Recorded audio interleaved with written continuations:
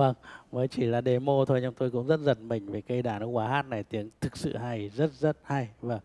Bây giờ chúng mình sẽ kiểm tra luôn 88 phím của cây đàn với các cái kỹ thuật khó của cây đàn này. Vâng.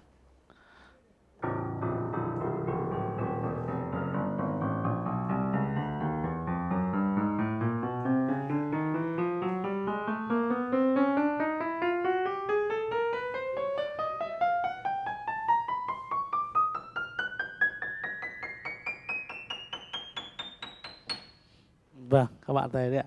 88 phím âm thanh rất là đều và tôi tương tác ở trên 88 phím thì nó rất là chặt và nó nó cái màu sắc nó rất là là nét và đều nhau. Wow. Bây giờ chúng ta cùng xem với một cái tốc độ rất là nhanh trên một phím hay nói cách khác là chúng ta đánh tremolo. Vâng. Thì chúng ta sẽ thấy nó như thế nào.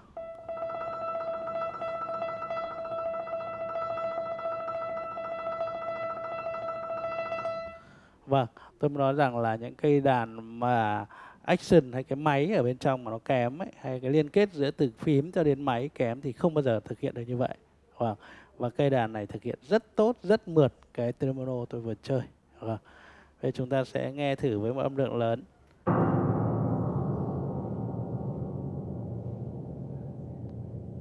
Vâng, với một âm thanh lớn như vậy thì cây đàn vẫn rất là chắc chắn, không có một cái tiếng rè, một cái tiếng uh, lẹt xẹt nào cả. Vâng. Với tất cả những cái phần vừa rồi các bạn thấy là cây đàn đã đáp ứng được rất là tốt. Bây giờ chúng ta cùng nghe một giai điệu xem cây đàn này thể hiện như thế nào.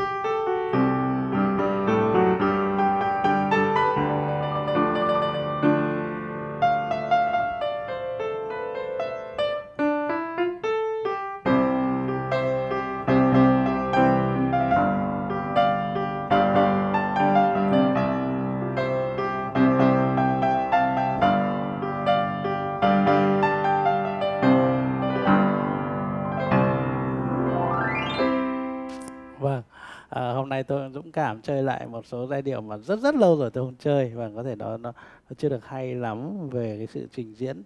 Nhưng mà vâng tôi vẫn nhấn mạnh lại cái bài hát này tiếng tuyệt vời. Vâng, rất hay. Bây giờ chúng ta cùng kiểm tra xung quanh cũng như phần bên trong cây đàn.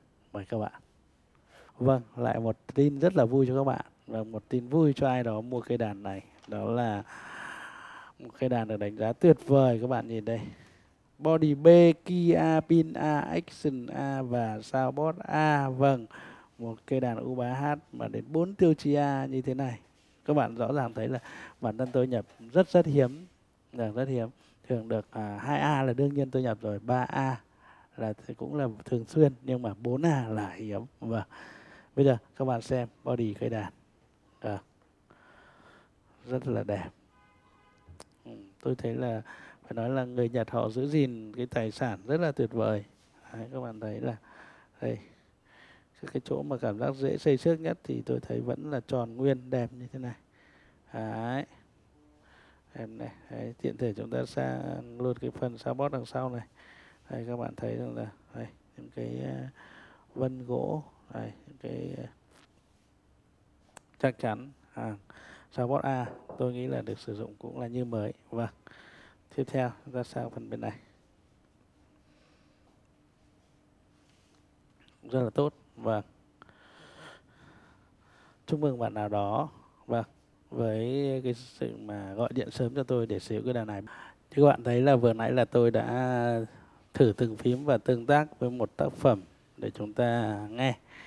Vâng, và đúng là kỳ rất là tuyệt vời và các bạn thấy ấy, ấy là các cái phần à, bên trong này cũng rất là đẹp. Bây giờ chúng ta xem uh, action.